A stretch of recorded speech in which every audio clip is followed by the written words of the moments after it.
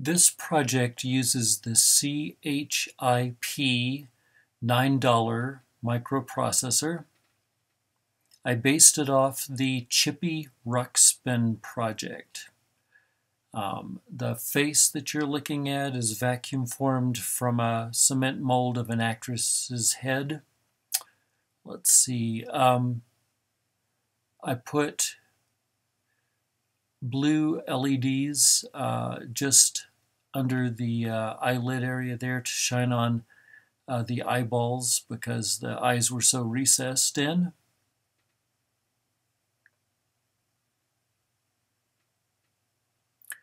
The brain is a uh, sphere from Thingiverse uh, that I printed and have uh, a lot of uh, LEDs in there. The LEDs are all connected to shift registers, uh, connected to one of the two Arduinos, which receive um, information from the CHIP microprocessor.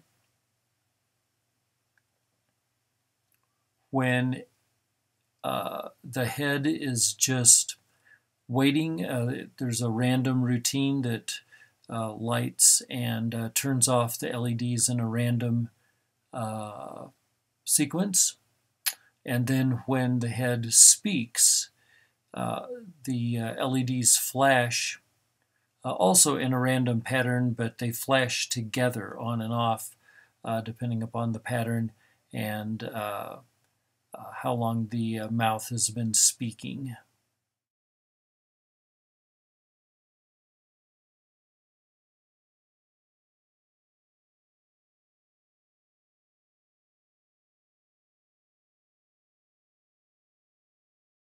Draw freely upon my imagination.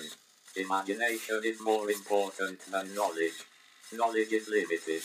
Imagination encircles the world, not I am enough of an artist to draw freely upon my imagination. Imagination is more important than knowledge. Knowledge is limited. Imagination encircles the world.